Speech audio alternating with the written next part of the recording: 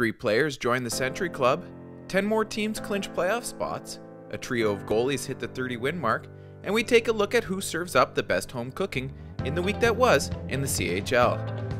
It should be no surprise that the first place Sherbrooke Phoenix has the best record in the CHL.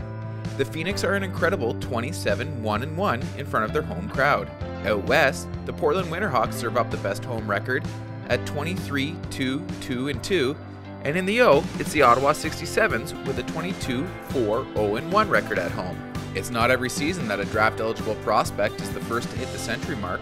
Even more rare is having the first three players to get 100 points. But that's exactly what happened when Rimouski's Alexis Lafreniere reached the 100 point mark in just 45 games. He was followed by Ottawa's Marco Rossi, who hit the mark in 47 games, and then it was Saginaw's Cole Perfetti joining them after 55 games. A couple of WHL goalies joined Chicoutimi's Alexis Shank in the 30 win club last weekend.